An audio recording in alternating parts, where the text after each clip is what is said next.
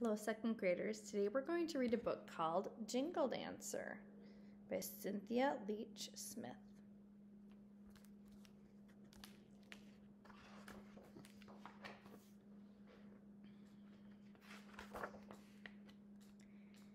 Tink, tink, tink, tink, sing cone shaped jingles sewn to Grandma Wolf's dress. Every grandma bounce step brought clattering tinks as light blurred silver against jingles of tin. Jenna daydreamed at the kitchen table, tasting honey on fry bread, her heart beating to the drum, brum, brum, brum, brum, of the powwow drum. As Moon kissed Sun good night, Jenna shifted her head on Grandmother Wolf's shoulder. I want to jingle dance too. Next powwow, you can dance, girls, Grandma Wolf answered, but we don't have enough time to mail order tins for rolling jingles. Again and again, Jenna watched the videotape of Grandma Wolf jingle dancing. When Grandma Bounce stepped on TV, Jenna Bounce stepped on family room carpet. But Jenna's dress would not be able to sing. It needed four rows of jingles.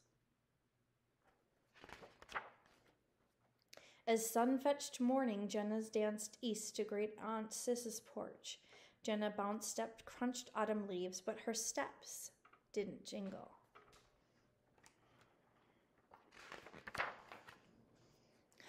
Once again, Great Aunt Sis told Jenna a Muskogee, a Muskogee Creek story about Bat.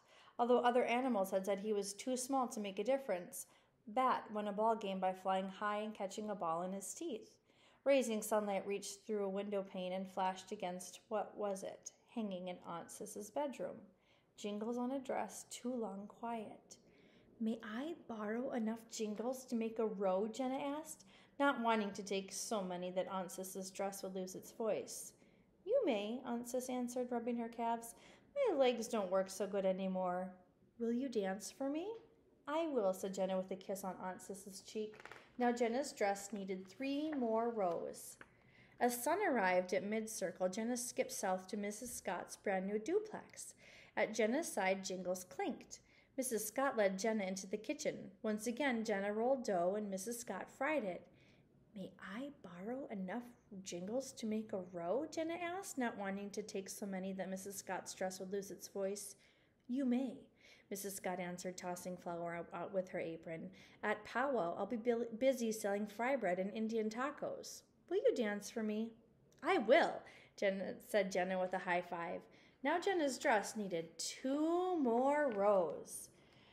As Sun caught a glimpse of Moon, Jenna strolled west to Cousin Elizabeth's apartment. At Jenna's side, jingles clanked. Elizabeth had arrived home late from the law firm.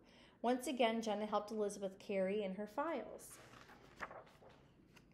May I borrow enough jingles to make a row? Jenna asked, not wanting to take so many that Elizabeth's dress would lose its voice.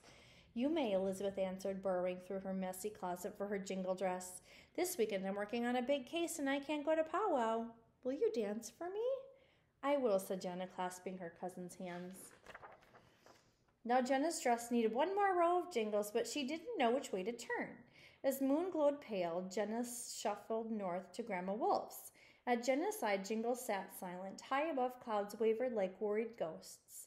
When Jenna tugged open the door, Jingles sang tink, tink, tink, tink. Grandma Wolf's was jingle dancing on TV. Jenna breathed in every hey-o, a powwow song. Her heart beat brum, brum, brum, brum to the pounding of the drum. On family room carpet, she the beaded moccasins waited for Jenna's feet. She shucked off a sneaker and slipped on a moccasin that long before had danced with Grandma Wolf. Jenna knew where to find her fourth row. May I borrow enough jingles to make a row? Jenna asked, not wanting to take so many that Grandma Wolf's dress would lose its voice. You may, Grandma said with a hug. Now, Jenna's dress could sing. Every night that week, Jenna helped Grandma Wolf sew on jingles and bring together the dance regalia. Every night, Jenna practiced her bounce steps. Brum, brum, brum, brum, sounded the drum at the powwow the next weekend. As light blurred silver, Jenna jingle danced. For great Aunt Sis, whose legs ached for Mrs. Scott, who sold fry bread, for Elizabeth, who worked on her big case, and for Grandma Wolf, who warmed like sun. Tink, tink, tink, tink.